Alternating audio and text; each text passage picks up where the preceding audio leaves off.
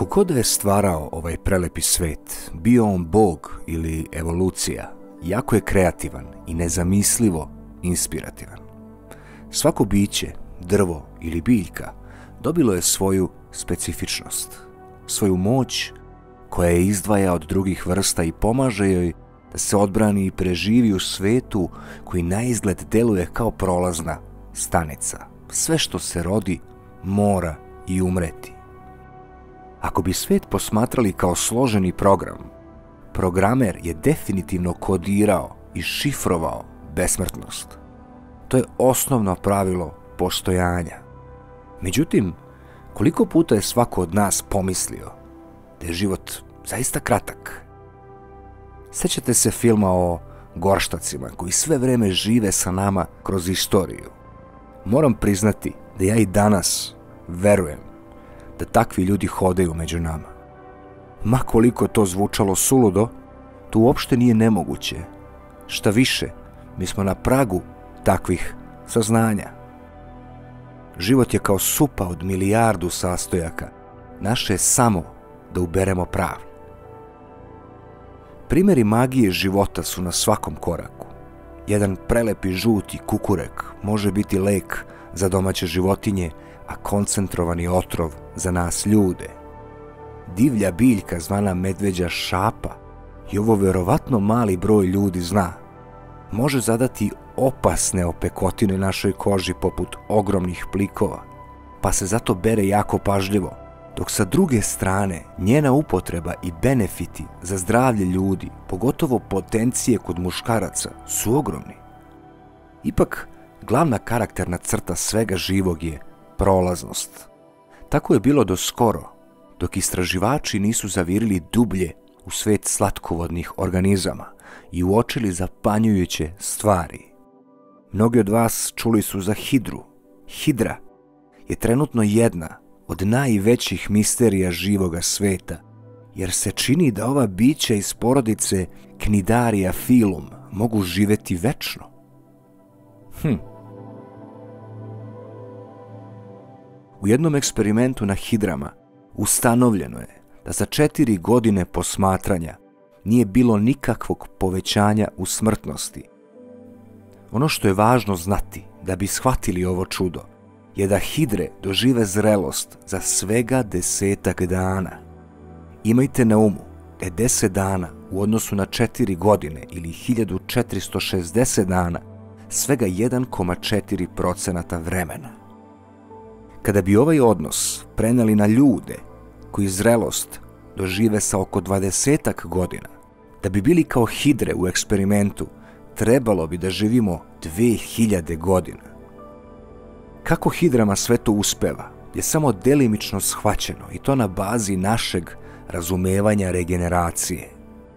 Hidre su nazvane po zmiji iz grčke mitologije koji su izrasle dve nove glave za svaku odsečenu.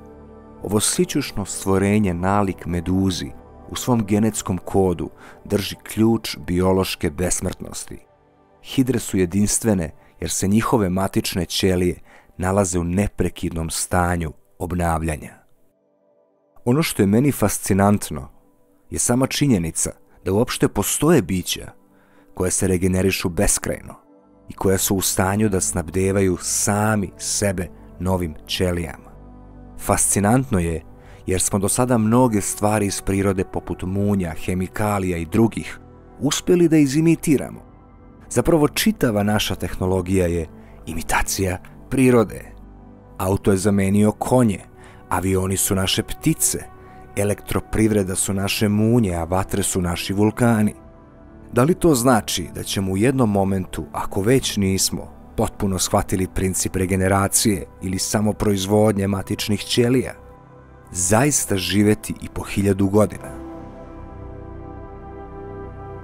Ja mislim da hoćemo, ali će to za sobom povući neke ogromne i opasne potrese u budućnosti. Jedan jako zanimljiv doktor gerontologije, De Grey, siguran je da je prvo dete koje će živjeti hiljadu godina, a možda i više, već rođeno.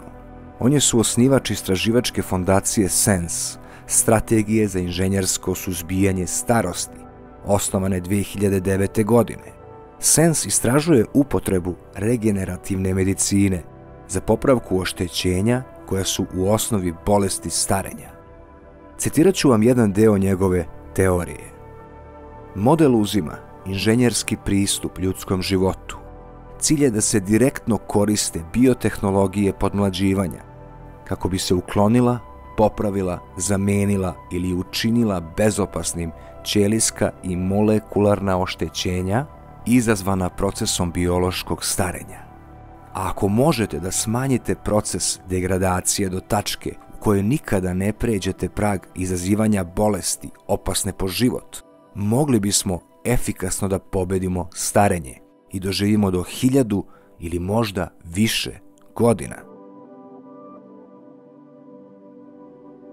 U nastavku svoje teorije navodi da je otkriveno sedam vrsta oštećenja koja dovode do smrti kao što su mutacije u hromozomima i gubitak ćelija degradacijom. Međutim, za ove probleme već postoje rešenja uspešno sprovedena na miševima, kao što su ćelijska terapija, faktori rasta i ekspresija proteina. Veruje da će biti moguće podmladiti ostarelog miša u roku od jedne decenije. 15 godina od tog trenutka on tvrdi da bi prve terapije mogle biti dostupne kod ljudi. Loše vesti naravno za one koji imaju 80 godina. Početne eksperimentalne terapije koje ćemo izmisliti bit će prekasne za njih. Ali ako imate samo 50 godina, onda postoji šansa za vas. Intrigantno, on veruje da će prva osoba koja će doživjeti hiljadu godina verovatno biti samo 10 godina mlađa od prvog 150 godišnjaka. Dakle, De Grey vidi produžetak života kroz biološku kontrolu nastanka opasnih bolesti. Međutim, da li će to u skorijoj budućnosti biti moguće na mnogo virtuozniji način? Da se vratimo na hidre.